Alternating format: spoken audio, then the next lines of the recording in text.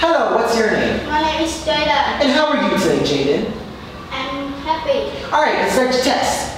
What can she do? She can try a car. Very good. What is he wearing? He's wearing a t-shirt. Good, he's wearing a t-shirt. What does the tiger have? The tiger has got Excellent. Where is this? is a ball. Where's the pig? Is on the ball. Good. What can you do at a park?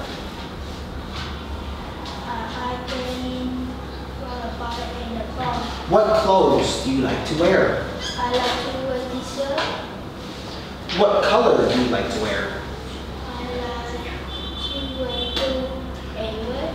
Have you ever been on a farm? No, I haven't. What animals can you see on a farm? I can see rabbit. All right, you did a very good job. You may now sit down.